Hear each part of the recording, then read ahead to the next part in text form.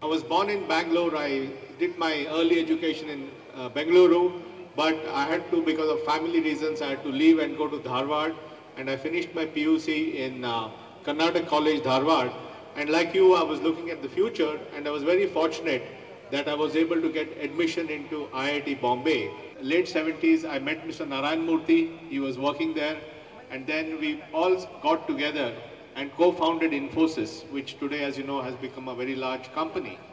And when I think about what, what made me successful, it was really the fact that I had, I was able to work with other people and get things done.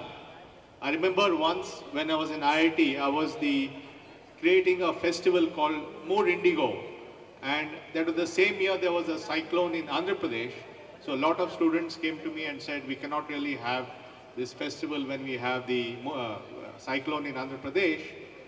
And I told them that maybe let's find a solution. And the solution we came out with was that we had the festival, but all the surplus earnings that we got from the festival, we sent for the Andhra Pradesh cyclone victims.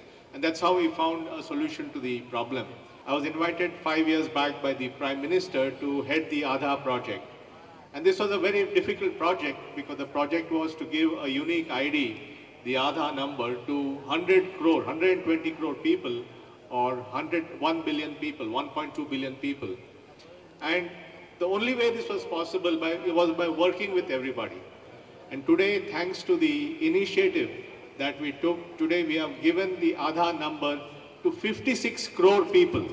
56 crore people in less than five years. Everybody has the opportunity, the same opportunity to get an Aadhaar as anybody else. We have built a system which is equal opportunity for all. That is the philosophy that I've always tried to carry in everything that I do. When I was walking in the audience, I met two young people, Shaheen and Salma. They were sitting there in front.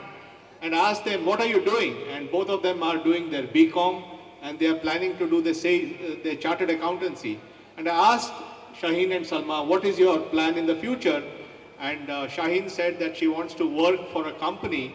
And Salma said she wants to be an entrepreneur. And I said, this is, the, this is what makes me so happy. This is the future of this country. If we can create opportunity for everyone, for every Salma, every Shaheen, if we can create opportunity, then we will make this country a great country. And everybody should have the same opportunity to make that happen. I want everyone to have the dreams that Salma and Shaheen have today, and I want your help in making that happen. Thank you very much.